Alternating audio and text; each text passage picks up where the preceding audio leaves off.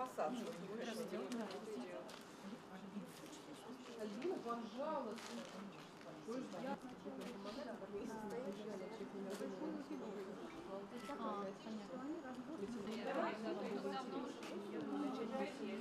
Ну давайте.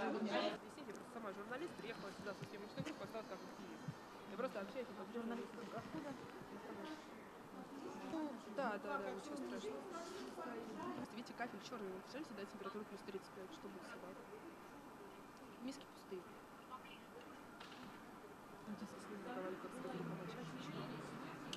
Если вам нужна картинка, да, заснять. Давайте посмотрим. А может вы видео снимете где-то у вас как-то? Да нет, пожалуйста, не мне жалко, если во что, фотографироваться. 241 нужно подать в суд, чтобы изъяли собаку хозяина. Раз она не знает. Она жива, то как? Я посмотрела статью. Смесь событий. С личных Почему все встали? Давайте друг А там за дверью кто-то говорил.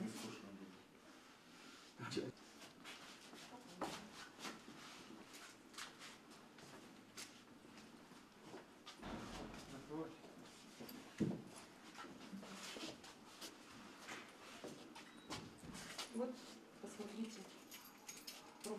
Скрывать дверь, видимо, мое отсутствие. Да, давайте. А, Поедем. а почему? А, жена? Лен, а давайте мы тогда, можно мы нашли? Побежали вместе. Серега, давай. Мы работаем. Расскажите, с чего, с чего все началось, с чего вдруг такое внимание вообще к вашей семье и к этой собаке? Вот ваша версия. А, Внимание к моей семье началось с 2006 года, а, с декабря месяца, когда мы только купили эту квартиру. А, Потому что соседка, которая живет в 42-й квартире, изначально была очень недовольна, что появились вот такие новые жильцы, семья Щепетевых. И э, в частной беседе мне говорила о том, что очень жаль, что бывшие хозяева квартиры не продали квартиру ее семье. А, Соответственно, очень долго ее это беспокоило, скажем так. Да? Потом э, с регулярной периодичностью на мою семью стали поступать какие-то жалобы именно от нее да, в разные инстанции. То есть от того, что мы топаем, э, громко храпим, там, разговариваем, громко смотрим телевизор, а, что ремонт у нас не ремонт, э, машины у нас не машины. То есть всякие всевозможные были э, от нее агрессивные манипуляции. Но мы, как люди, которые всегда работали, трудились, а, у нас не было времени просто заниматься какими-то бытовыми переделами, пересудами. Мы совершенно спокойно занимались своими делами, не обращали внимания, а, скажем так, на недо- недоброжелателей. Вот. И, соответственно, когда появилась моя собака, которую я купила сама себе, и мой э, бывший муж э, Денис Викторович никакого отношения к этой собаке не имеет, а, и он мне ее не дарил, а, соответственно, ее это очень сильно еще больше обозлило, поскольку у нее две собаки не такой породы, а, и э, потому что стоило нам выйти во двор а, гулять, так сразу же моя собака привлекала очень много внимания а, прохожих людей, все подходили, делали комплименты, говорили, какая у меня красивая девочка. А, И, естественно, это, видимо, как-то ее что-то что, что-то в ней росло, какая-то еще злоба, да. Потом, э, соответственно, стали поступать разного рода угрозы, как от нее лично, так и от членов ее семьи. Вот, от, э, в частности, от господина Левина, который давал э, комментарии в прессу, а, рассказывая, как э, всякие экскременты падали на его балкон, и вот он через несколько месяцев после того, как э, устал и терпеть э, вот это все, он сделал навесик. Но, как оказалось э, в ходе сегодняшнего э, мероприятия следственного под названием э, «Осмотр моего жилища», э, по моему собственному желанию. Выяснилось, что навесик-то чистый. Вот. А, и, собственно говоря, я об этом говорила ранее сотрудникам полиции, о том, что мои предположения, почему они сделали навес, а, по той простой причине, что видно, э, что слив, который на балконе с самого начала был, да, то есть мы его новым не делали при ремонте, именно в том месте, где находится навесик, он несколько искривлен, что, видимо, когда сточные воды там, от дождя, и, так как у нас не застекленный балкон, льются, видимо, каким-то образом там, к ним переливается, да, а, но я думаю, что это было с их стороны все очень хитро, а, скажем так, вот такие какие-то мелочи, они были обращены как какие-то а, доказательства, по их мнению, достоверные, да, о том, что что-то там происходит странное на восьмом этаже. Ну, все началось с того, что 11 августа в 7.30 утра я вышла из дома, а, подойдя к своей машине, которая стоит прям, стояла прямо рядом с подъездом, я обнаружила, что в отношении моего автомобиля, моего имущества были совершены э, противоправные действия вот, э, неизвестными мне лицами. А, и были определенные повреждения. Вот. Э, по данным повреждениям, то есть я тут же позвонила э, в 112, 112 передала информацию в дежурную часть УВД Раменки, э, приехали сотрудники полиции очень быстро, очень оперативно, то есть даже 10 минут не прошло. Э, приехала машина с ребятами, они все осмотрели и предложили мне, соответственно, приехать Э, в отделение полиции для того, чтобы написать заявление и объяснение по данному факту. Естественно, они спросили, застрахован ли автомобиль. Вот, э, то есть были по приезду сюда были произведены определенные процессуальные действия по оформлению данных повреждений, после чего мы проследовали опять назад к месту, э, где находилась машина следственной оперативной группы, которая зафиксировала все это, отфотографировала, замерила, то есть следственные действия на, эти, на этом были, скажем так, закончены. Вот. И я заметила, что стоит женщина. А, Все это время стояла женщина, и я видела, что она меня фотографирует. Но в силу того, что я была занята тем, что я общалась с сотрудниками полиции, которые проводили следственные оперативные действия, я периодически, скажем так, не обращала на нее никакого внимания, я понимала, ну мало ли там человек ждет кого-то, да, или просто интересно, что случилось. То есть я же не скрывала, да, ни от кого данный факт.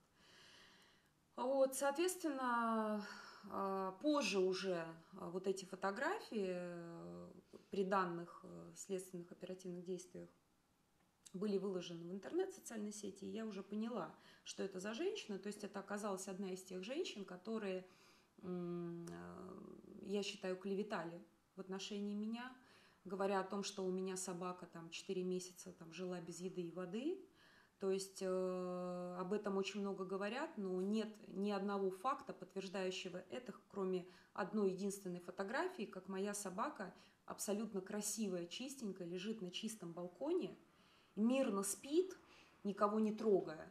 Вот. Причем съемка ведется там очень с большого расстояния, и э, подается это так, что у нее там ни навеса, ни еды, ни воды, но когда люди, э, которые э, хотели все-таки как-то более вникнуть в эту проблему, начинали там пересматривать каждый раз фотографии, фотографии, то они обращали внимание, что там стоят миски, миски не кошачьего размера, да, не миски для кошечек, там стоят большие, чистые, красивые миски.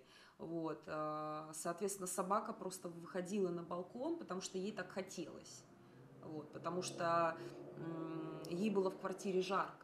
Вот, соответственно, это просто было, знаете, как фото папарацци, там сделан в неловкий момент, которое совершенно не говорит ни о какой жестокости по отношению к животному. А, и собака не э, вид, э, не не проявляет замученного несчастного животного, во всяком случае.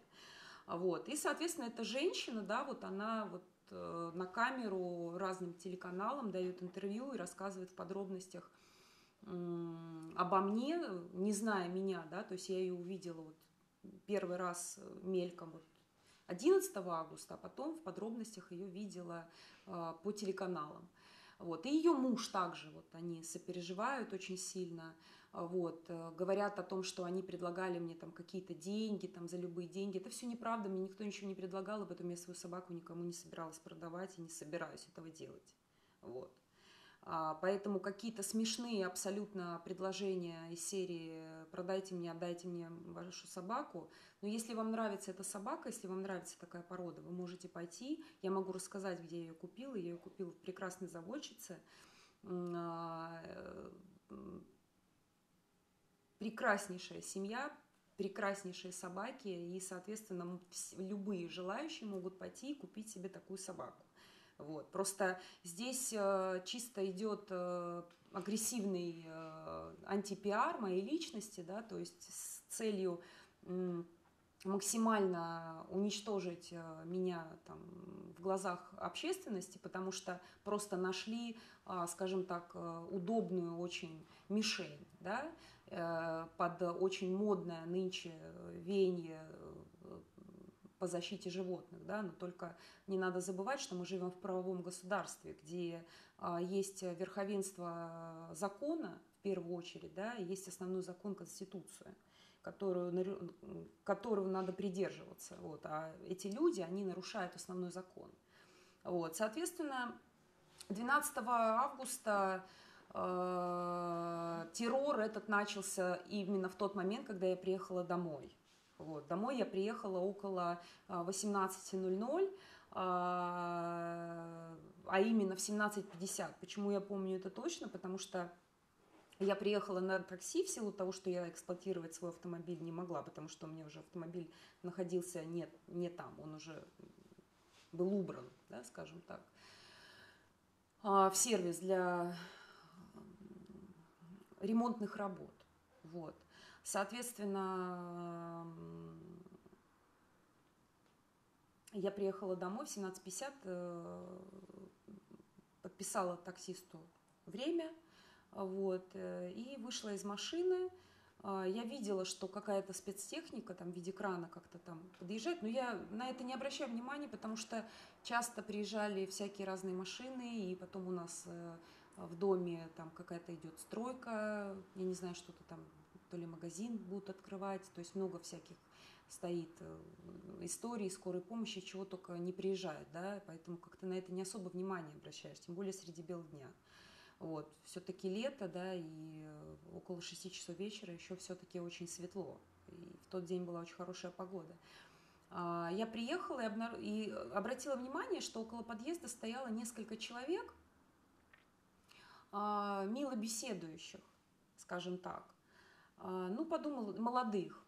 Ну, я подумала, что, ну, что здесь подозрительного, да? Я совершенно спокойно вышла из машины, вошла в свой подъезд, и эти люди забежали за мной. И вот тут мне что-то как-то вот ёкнуло в этот момент. А, Мы вместе поднялись на лифте, правда, они доехали до седьмого этажа. Я думаю, ну мало ли. Хотя вот для меня это были абсолютно незнакомые лица, и я их первый раз видела.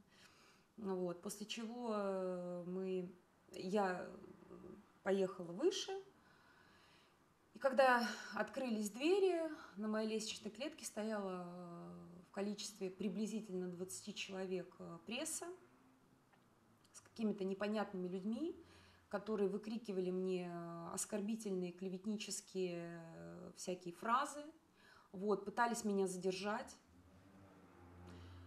А, Соответственно, я, я испугалась. Вот. Я просто не ожидала, я не могла понять, что они от меня хотят. Вообще, то есть я слышала там что-то про собаку, я не могла понять, что они от меня хотят, что не так. Потому что на тот момент собаки уже у меня в дома не было.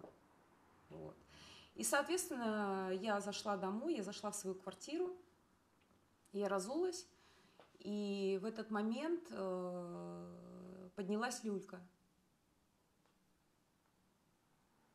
И вот здесь я, я, я просто испугалась по той простой причине, что у меня отсутствуют э, на окнах занавески в гостиной, потому что там остекление панорамное.